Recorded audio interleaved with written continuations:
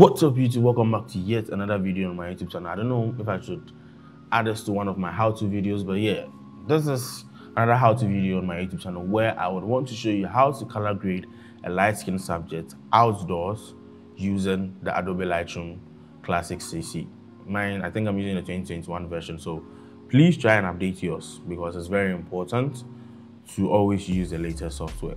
Right, and I also want to kill two birds with one stone just because I have been talking a lot about color grading and I've had a lot of questions concerning how to um, color grade, how do you understand you need to put this particular color there and that and you know what, it's, it's preferential concerning color grading but there are also some thumb rules which always work all the time. You just need to know how to go about using those particular thumb rules and you just be one of the best at what you do, right? I have also tried using these particular thumb rules and it has worked so far for me and I'm glad I, I actually learned them. So photography or art in general, no one creates a new art. We are always learning or working on what someone has already produced. So let's just get into today's video. But before I do that, let's subscribe to the channel first, which is quite important because the more I see an increase in growth on my channel, the more I also want to put out videos just because you motivate me and I also motivate you to grow in this business. So let's help each other as I also keep on learning and sharing my ideas on how I go about my editing, my shooting, my post-processing. So please subscribe to the channel. Please turn on the bell notification icon. Please leave a like please comment down the comment section below whenever you have a particular concern about whatever it is I'm talking about. And also at the end of the video, I would honestly ask you to share the video to other friends who you know will also like to learn a thing or two about color grading. So here in Adobe Color, you can access this particular um, interface on your internet. So just have an available internet source. Make sure you type Adobe Color. It pops up, then you just choose uh, color.adobe.com and you have this here. So you have a lot of colors here. The harmony rule, there are a lot of harmony rules you can go about. And I think I have produced a video on how you can use the color wheel uh, or understanding the color wheel when it comes to coloring in Photoshop or Lightroom or any other post-processing software, whether videos or pictures. So I won't go through all of this. Right, I'll just go straight to what I want to talk about. I am so sure you've heard of orange and teal. Right, a lot of people produce their images using orange and teal. I'm also sure you've heard of aqua and brown. These are two color combinations I really like using whenever I am editing or color grading an image outdoors. I have that in mind. So whenever I'm editing, I know I would want to add a bit of orange and teal to most of my images.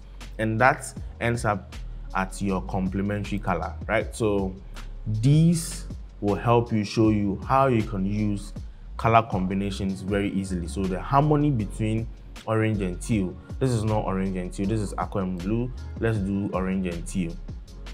Right, so this should be somewhere here. So we have our teal and our complementary color for the teal ends up being this particular orange you're seeing here. The reason why you can see this brown is because of this particular color over here, right? So you realize the this or these three colors you're seeing here are different shades of the teal region concerning luminosity. Same goes for that here. And brown can always be found between red and orange and it always has to deal with the saturation level. So orange, which we have here, and teal, which is a good color combination right from the harmony rule when it comes to complementary colors, right?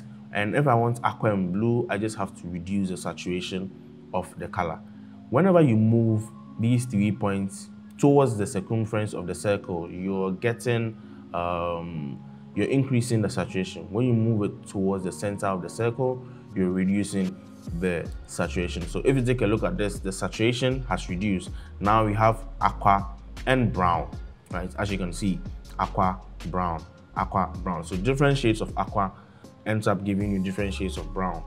And this is what I wanted to explain to you. You can save this, you can have this as your color wheel or your color save or your color whatever it is, save it, publish it, or use it to teach other people right? So this is name my color theme, you can change it. This is not what we're about, but I just wanted to show you how you can use this particular color wheel to go about color grading your image. So the thumb rules, right? After knowing this orange and teal and knowing this brown and brown and aqua, you do realize there are different shades of aqua you can change your image to. In today's image, you'll be using this image I shot some while ago. I didn't produce a behind the scenes and I'm so sorry for that. I think on that day it was just an impromptu shoot. I shot this using my Canon 5D Mark IV, the 24-70 f2.8 uh, Mark II USM lens at 50 millimeter at f4.5 ISO 100 and a shutter speed of 1 over 1000 seconds or 1 thousandth of a second. Right. First thing I'll do is to make sure I fix my horizon. I always want my horizon to be as straight as possible. That is why we shoot at the. Don't make your horizon look slanted. And I'll also make sure I'm seeing my before and after so that I don't deviate from this. The next thing I'll do is to make sure my lens correction is turned on. So after enabling profile correction, you do realize the image has gained some um, increase in exposure and all that. Right after that, I shot this using the camera standard profile. So I'll make sure to go into camera matching, then look for camera standard. After changing it to camera standard, you do realize there's a bit of contrast, there's a change of color shift and all that. Take a look at it before and remember our aqua and brown. Don't you think it looks closer to that? Yes, yeah, so you can leave your image like this, but to make it more interesting, you can do more to it. Now changing the picture profile, you end up seeing more of orange yellowish vibe on our subjects but then you don't see that teal you're looking for in the skies right so you have our orange but we don't have our teal but this is not a perfect orange i'll be looking out for so that being said i'll make sure my tint here is a five right i always like to do that i just don't know why make sure i reduce my exposure i like my exposure a bit darker so that i can get to see the skin more tanned, right? And also with light skin subjects, these modern times, um, there are a lot of, um, I think, people changing, trying to tan their skin. That's that's what that's the right term to use. They want to tan their skin, look, want to look darker, just like the dark melanated models. Which, who blames them? We have like very nice, nice skins, right? That that's by the way. Also, you're looking at tanning the skin, but not too much. Tanning the skin makes it, um, brings out that richness in the skin. But the mistake I see from a lot of people is that they tan it so much that you don't really get to see um, how close the skin looks to a light skin subject. You see a light skin subject turn into a dark skin subject, which I always advise against. So please don't do that. Find a better way to fix your image. After reducing the brightness, so I'll increase my shadows, make sure I have some information in my shadows. I really like seeing a lot of white in my image, neither do I like seeing a lot of highlights. I'll increase my whites too. I think this was too much. Okay, let's just leave it at minus 30. Right. After that, I really don't see a lot of colors in this just because after adding, mm, changing the profile to camera standard, it added more color to this particular image. So if you take a look at this, right, you do realize we have a bit of the same color shifts. I mean, same color saturation between these two images, just that the hues have been changed. Right from there, I think I would add some lightness into the midtones by dragging from the middle, right? If you take a if you take a look at this, I think I've produced a video on how to understand the tone curve. Understanding the tone curve, I'll link it up here. Make it a point to go watch that. It's very informative and I won't go into that here, so I'll just increase my exposure here in my midtones and here in the regions. I like to open up my darks too. Uh, make sure it's a smooth curve, a smooth curve right. Right here, I think I've lost a bit of contrast in this. So here in my dehaze, the dehaze works best when it comes to contrast and colors. And that's something I'm looking out for. So let me use value of 6 right? Then I am good to go. Now let's go tackle our color. When it comes to color grading you have the HSL prone to you. And there's one thing I want to also mention when it comes to color grading. You see this wheel I think I have mentioned it in my previous video I also mentioned it here just because I don't know which one I'm uploading next. Fine let's let me also mention it here picking this this hue you're seeing here red orange yellows greens aqua blue purple magenta when i say i have red here and i have red here this is what i mean when you pick up the color wheel this is a painted color wheel I, I drew in painting. I was having one of my classes. So if you're interested in having a class, kindly let me know. I'll link my Instagram down there. DM me and we'll have a thoughtful um, learning process. So we have reds, oranges, yellows, just like that in Lightroom, right? When I am traveling from red clockwise, I end up back at red. When I travel anti-clockwise, I end up back at red. So whether I move from here clockwise, I'll still end up at red. That is exactly what I'm seeing here. So from red, if I should change the hue, if I should keep changing the hues towards the red, you end up seeing your image to be in this reddish region. Do you get what I mean? So that being said, right, when I want to harmonize a particular color, say I want to harmonize my reds, I want to harmonize my oranges, when I change the hue of the reds into the orange, I will make sure I'll change the hues of the oranges into the reds just because I want these two colors to harmonize. I want the harmony between these two colors. So let's go back here to this uh, image, right? Then I will make sure I move the hue of the oranges towards the reds. Not too much. I'll move the hues of the red towards the orange so that I get a harmony of colors, right? I'll make sure my reds look reds I mean, my reds look like the oranges and my oranges also looks like the reds. I also change the hue of the yellows towards the orange, right? So that I can have that orange I'm looking out for. My main goal is to look out for what's orange and teal. Am I right? Yes, I'm right. The next thing I will do is to make sure the blues, right? The two colors that I can change to make the orange and teal is the skin, which is the orange. And now we have the sky to blue. So we will change the blue to teal. And by that, we'll use the hue of the blue here. and I move it to the left, there we have it. So what do you guys think? Orange and teal. You guys think we achieved it? Yes, we did. So this is our teal, but I hate seeing a lot of colors in my blue, so I'll reduce that. Also reduce the saturation of the oranges and that's off the red. And take away that of the yellows, make sure the aqua follows. I don't really like to see a lot of greens in my image. The colors I'm not seeing, I'll just take them away, right? And one thing about Lightroom is that what, what even if you reduce the saturation, when you change the hue, you see the effects happening. So I'll move this. In, in as much as I'm moving this towards the aqua, which is greenish blue, I'll move the aqua towards the blue. That is the harmony of colors I'm talking about, guys. So keep that in mind.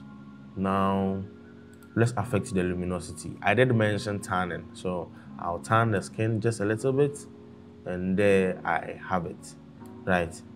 And I also reduce the luminosity of the blues, followed by this and that. Then let's see that of the yellows. It will increase that of the yellows. Well, we should tan the yellows too. Okay, so let's reduce out of the yellows. And there we have it. So this is the before and this is the after. Before and after. I feel like the teal is too much. So i'll leave it somewhere here. Then i'll increase the saturation just a little bit. So this is the orange and teal i'm talking about if you want to make your image or color grade a light skin subject. So we are trying to kill two birds with one stone. Understanding this and applying this here in lightroom. So we have applied it let's do further color grading Right, with light skin, this is a trick I like telling other people. With light skin, always add a bit of teal to the highlight. So when I hold shift, right, the moment I hold shift on the keyboard, you end up seeing this particular line. That is telling me that when I drag this, it will just be on the line.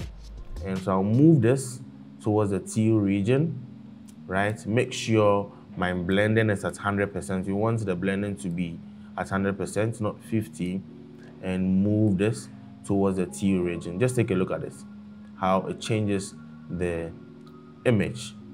Not too much. So we have it there. We have the saturation at 4. Let's take it to, say, 8. Take a look at how it affects the skin before and after. Before and after. So this pushes it more to make it look like um, a light skin subject. But after doing that, you get to see it affecting the skies more. So I would like to change, I'm feeling too much of the teal in the skies. So I would like to change it towards the blues a little bit, right? So before and after, that's beautiful. Then we come back to this and we go into the shadows. We try and add some reds into the shadows. And in the midtones, we do the same thing and the midtones try add some oranges, right?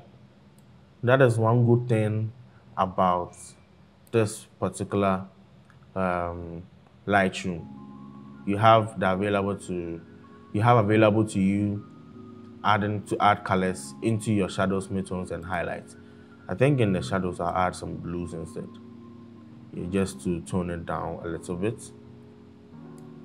All right, so this is the before and after, before and after. So you see how all these are helping to color grade the image.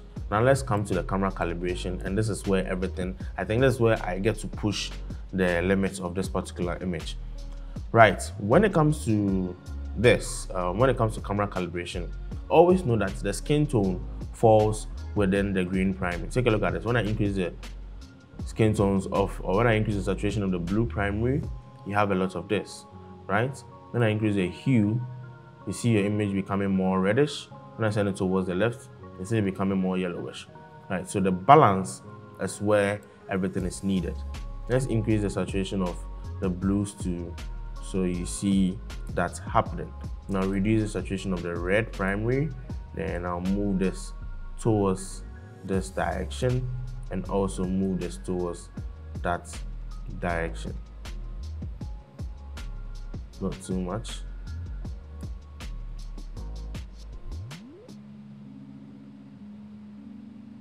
Okay. One thing I like about the camera calibration is the shadow tint. Here in the basic, this tint affects the total image. And with um, Canon cameras, you see a lot of magenta and a lot of reds when you're shooting, right? So to fix that, I like to use this. I don't think I'm seeing a lot of reds in this. So let's play around it and see what will happen. When I move it to the left, this is what's happening in the shadows. When I move it to the right, this is what's happening. Can we find a balance in there? I think I'll move it, yes. This is something I would like to see. Beautiful, just beautiful. Let's see, let's reduce the saturation of the blooms. And there we have it, reduce the luminosity. Let's let's take it away down, all the way down. Let's reduce the exposure to. Okay, so this is exactly how I will color grade a particular light skin image which I had shot outside in Lightroom.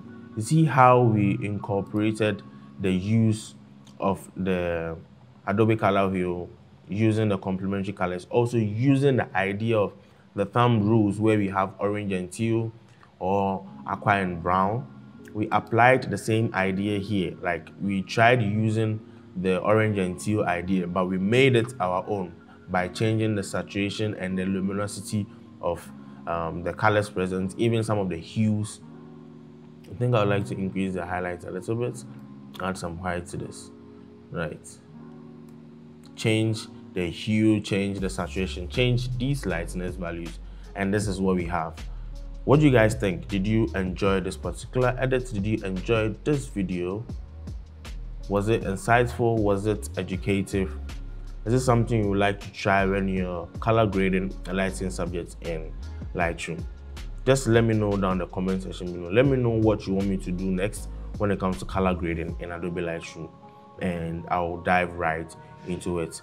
Please subscribe to my YouTube channel because I know, I know you guys learned a lot from this particular video. Don't forget to share this video just so that other people who are also photographers or creatives who are coming up, also content creators who would want to learn something about color grading, something about um, color hue, color balance, harmonizing colors, just share this video to every platform you have. Support my business, support the YouTube channel. The more you support me, the more I also put out videos just because I always want us to grow together. Thank you once again for watching this particular video. Thank you for subscribing. Thank you for turning on the bell notification icon. And if you're new here, don't forget to do anything of any any any of those things I mentioned earlier. And please leave me a thumbs up if this video was what you expected. Thank you once again, and I'll see you in my next video. Peace.